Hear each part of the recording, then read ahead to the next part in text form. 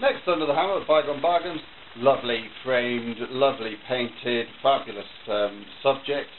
A big still life full of flowers. We've got cornflowers, we've got roses, we've got lilies, we've got poppies, we've got honeysuckle, we've got camellia rose, we've got I just uh, got oh what are those? There's sweet williams, some even some sweet williams in the middle there. Look, lovely, lovely painting.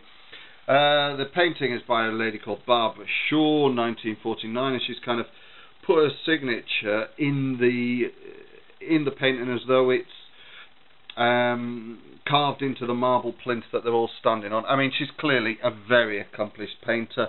This marble is perfectly rendered. These flowers are just exquisite, absolutely exquisite. Beautifully done, faultless, just faultless. Color, color representation perfect. The shading, the tone, the texture, lovely. Absolutely lovely. It's a very nice picture, and the frame is really lush. It's got lovely little details on it. It's all in very good condition. I'll just get closer to the corner joint there. I've taken a lot of photos of all the different elements of it so you can see just how nice all the details are. We haven't got any breaks, we haven't got any chips, we haven't got any damage on this frame.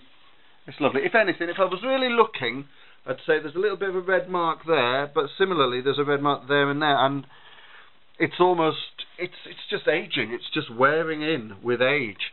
And it actually, I think it actually complements it rather than detracts from it.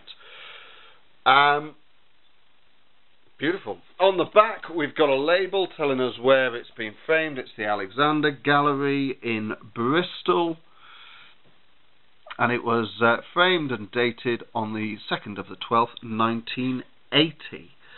So that's 32 years old.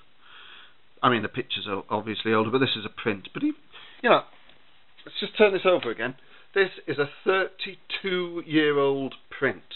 This has been, you know, exposed to exposed to sunlight, exposed to daylight for 32 years, and the colour is as vivid as you're going to get. Beautiful. Absolutely beautiful. It's a lovely picture from a lovely wall. We sell things in other places and beautiful paintings like this, uh, especially roses. People love roses. Always in demand. So why not get a bid on before it's gone?